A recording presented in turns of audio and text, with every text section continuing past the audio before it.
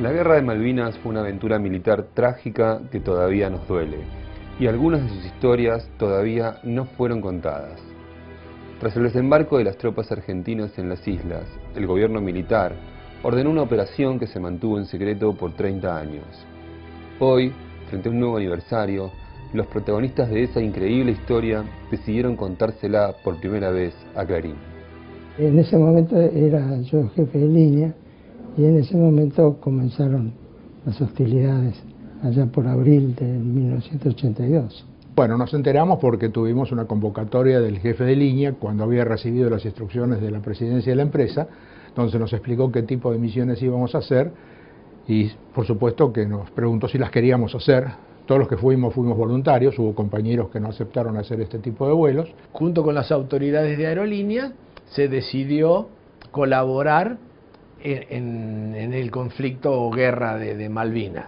El jefe de línea nos llamó, nos dijo esto es voluntario, quieren aceptar o no, con dos connotaciones. Primero, no hay seguro seguro, y segundo, uno sale a volar y no fue estudiado el vuelo por el departamento de ingeniería, con el largo de pista, con esto, con aquello, ni por un despachante o por alguien que te diga. La misión era traer material que presumiblemente de guerra a la Argentina la norma general fue sin normas, ¿no es cierto? Sin seguro y sin comentarios.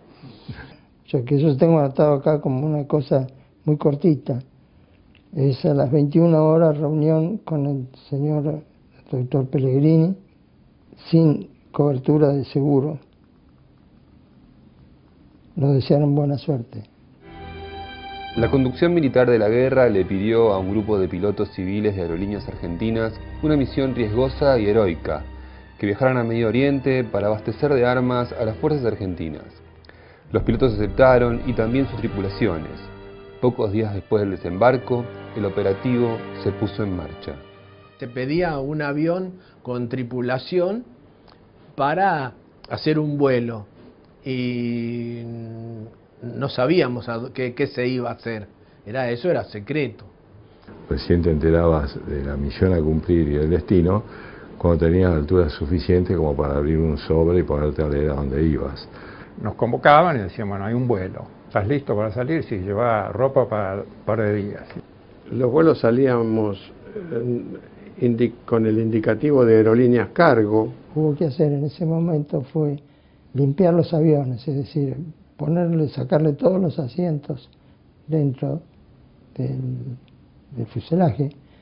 Quedamos a disposición de, lo que dijera Aerolíneas en cuanto a que los aviones estaban destinados a todo lo que fuera el apoyo al movimiento que se estaba haciendo de tropas y de armamentos.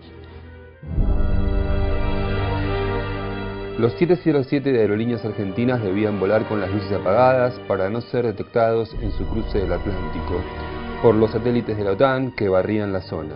Cuando llegaban a destino, la tarea consistía en esperar que se cargue el avión con bombas, armamento e incluso ropa para los soldados.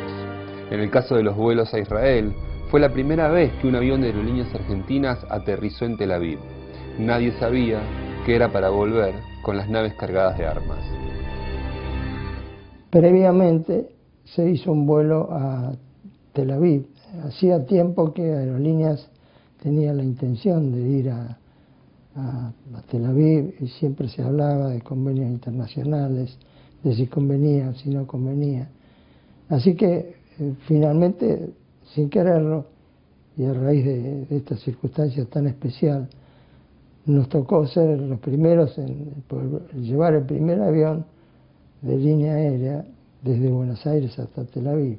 Había que cargarlo, digamos, respetando aproximadamente el centraje para que no se cayera para atrás o no nos pasara algún desastre de esos. ¿no? estamos moviendo la carga con las minas y los cohetes y todo esto que llevábamos para distribuirla razonablemente dentro del avión. Vimos que salieron todos los vuelos con exceso de peso, es decir, con una gran vulnerabilidad en el caso que hubiera habido una falla, una falla de motor, cosas que suceden de tanto en tanto, realmente este, el avión no podía volar así.